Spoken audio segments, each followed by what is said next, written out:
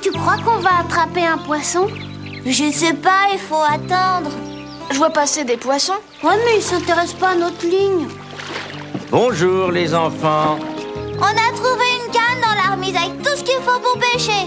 Mais pour le moment, Ça mord pas. Moi, je préférerais qu'on ne prenne rien. Qu'est-ce que vous avez mis à l'hameçon? Rien du tout. il fallait mettre quelque chose. Père Castor, je voudrais savoir où s'en va toute l'eau qui passe dans notre torrent. En attendant les poissons, écoutez bien l'histoire de Perlette Goutte d'eau. Un nuage voguait dans le ciel. Mille et une gouttes d'eau y étaient douillettement assises. La mille et unième se nommait Perlette. On s'ennuie ici.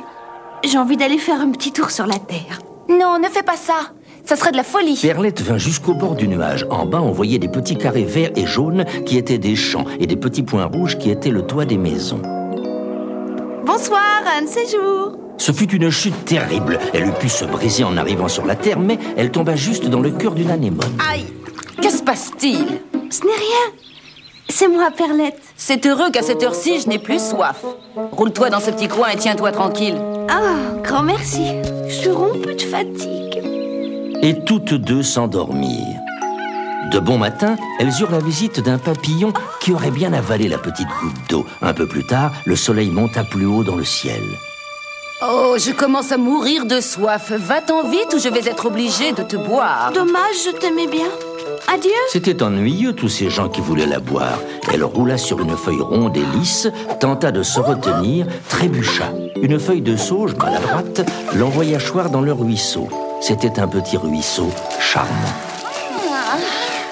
Je viens du nuage rose tout là-haut. Alors elles la regardèrent avec respect et s'écartèrent pour lui faire de la place. Elles se mirent à courir toutes ensemble. Tout à coup, Perlette sentit qu'on l'entraînait plus vite. Mais où allons-nous? La roue tournait avec un grand bruit et chaque goutte d'eau s'élançait pour être la première.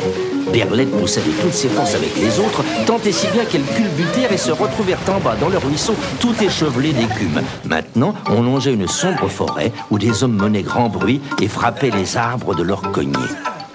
On les sciait en morceaux et on lançait ceux-ci dans la rivière. Quel travail, pousser toutes ces bûches devant nous, mais quelle fatigue Perlette s'y mit de bon cœur. Un petit rondin de boulot lui était tombé sur la tête. Il lui promit de se faire le plus léger possible. Alors ils devinrent amis, et tout le jour, l'un poussant l'autre, ils naviguèrent. Le soir, il arriva une triste chose. Toutes les bûches se rassemblèrent à un coude de la rivière, et des hommes les ramassèrent pour les charger sur des camions. Perlette eut tant de chagrin qu'elle ne voulut pas s'éloigner. Elle s'accrocha aux herbes de la rive. Une sarcelle quittant son nid l'aperçut. Pourquoi es-tu si triste Je ferais peut-être mieux de remonter dans mon nuage. Roule sur mon dos, je t'y porterai. Mais un gros rat jaillit, effrayant la sarcelle. Perlette interrogea un gros poisson qui, entre deux eaux, se chauffait au soleil. Qu'est-ce que tu ferais à ma place Goutte d'eau tu es, goutte d'eau tu dois rester. Que chacun se contente de son sort et tout ira mieux. Tout en parlant, il goba une mouche. Mais au bout de la mouche, il y avait un hameçon. Au bout de l'hameçon, une ligne. Et au bout de la ligne, un pêcheur. Contente-toi de ton sort. Elle repartit au fil de l'eau. Le petit ruisseau était devenu un grand fleuve qui transportait des péniches. Un peu plus loin, il n'y eut plus d'herbe sur la rive, mais des quais en pierre. Qu'est-ce que c'est que ça? C'est une ville.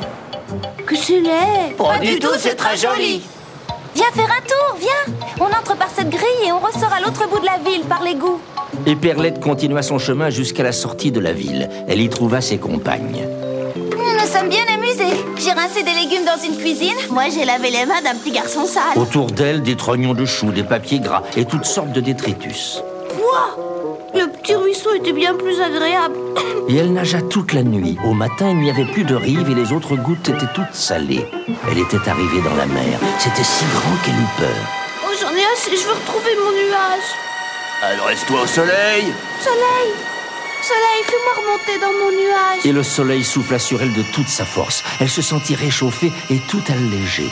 Et tout à coup, elle se mit à remonter vers le ciel comme une bulle de savon. Elle retrouva son petit nuage rose et ses mille compagnes. Je ne retournerai plus sur la terre. Vous y retournerez toutes ensemble, dit le nuage, la prochaine fois qu'il pleuvra. En attendant qu'il pleuve, on n'a toujours pas de poisson. Ils ne mordent pas l'hameçon. Ils n'ont peut-être pas faim.